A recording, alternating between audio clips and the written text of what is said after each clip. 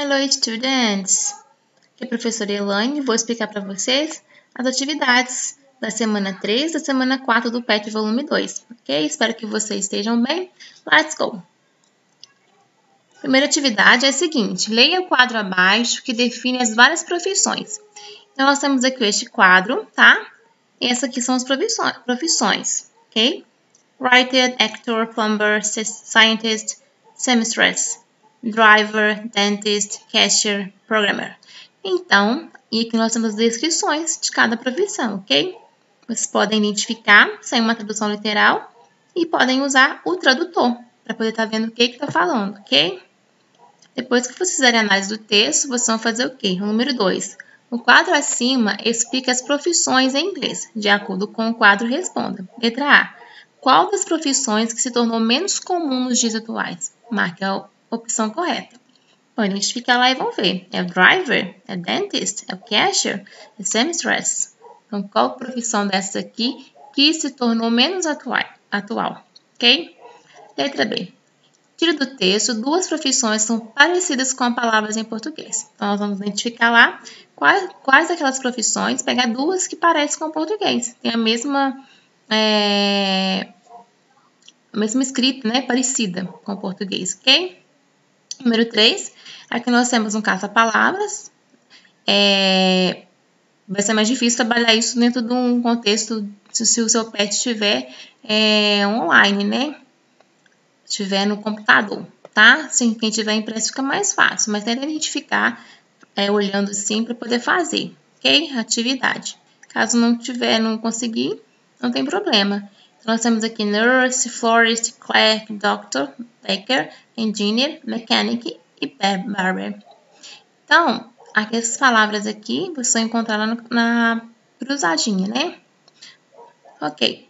Número 4. Os gêneros textuais carregam as mais diversas finalidades. Cada um tem uma estrutura própria. Veja, nós temos aqui um texto, tá? Com uma estrutura. Join us for a party, tá? Junte-se a nós para uma festa. When, tá? When significa quando, where, onde, e time seria a hora, tá? E aí, uh, can't wait to celebrate. Uh, podemos esperar para celebrar. Ok. Então, né, dentro dessa estrutura, que texto você acha que é? Esse aqui, gênero textual é, tá? O texto acima tem a intenção de convencer as pessoas para comprar um produto, convidar as pessoas para uma festa, advertir as pessoas, chamar as pessoas para uma peça de teatro. O que vocês acham? Vou marcar aqui a opção correta, ok? Letra B. Quando se realizará a festa em questão? Tá? Então, eu acredito que não temos a resposta, né? Porque nós não temos a data definida. Talvez eles tenham colocado sem perceber que estaria faltando, né? Então, essa aqui vocês podem deixar em branco. Letra C. O que quer dizer RSVP? RSVP. Responsa seu voice plate. Muito usados em convite. Então, você pode fazer uma pesquisa para identificar o que significa isso aqui e responder, ok? Então, é semana 3. Agora, nós vamos para a semana 4, ok? Atividade 1 da semana 4 é leia o texto abaixo. Nós temos aqui um texto When is Halloween celebrated? Tá? Quando é celebrado o Halloween? Who celebrates this day? Quem cele celebra este dia? Aí tá falando aqui, eles podem estar tá vendo também a tradução, tá? Não literal e depois usando o tradutor. What do people to, do to celebrate? O que as pessoas fazem para celebrar? What do people do, do to celebrate? Que as pessoas fazem para celebrar. O que eu estou falando, né? E depois que vocês fizerem ter o entendimento do texto, ler, fazer tradução, eles podem responder. Segundo texto, quando é o Halloween? Então, assim, a gente entende aqui que nem precisa, né, de uma certa tradução literal, ok? 3. O seguinte trecho, trecho, retirado do texto, fala dos costumes do Halloween, em que as pessoas se fantasiam de bruxas, fantasmas ou esqueletos. Então, the main tradition of uh, Halloween is to dress up in a costume. People dress up in all sorts of costumes. Some people like scary costumes such as ghosts, witches, or skeletons, but a lot of people dress up in fun costumes, like superheroes, movie stars, or cartoon characters, ok? A palavra scary significa bonito, extravagante ou assustador. Vamos identificar, né? Para isso precisa de uma tradução, ok?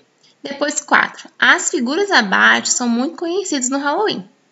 Né? Quem já viu aí, né? No Brasil isso não é uma data muito, não é celebrada, né? Algumas escolas até que celebram, mas a gente já consegue identificar isso através de filme, né?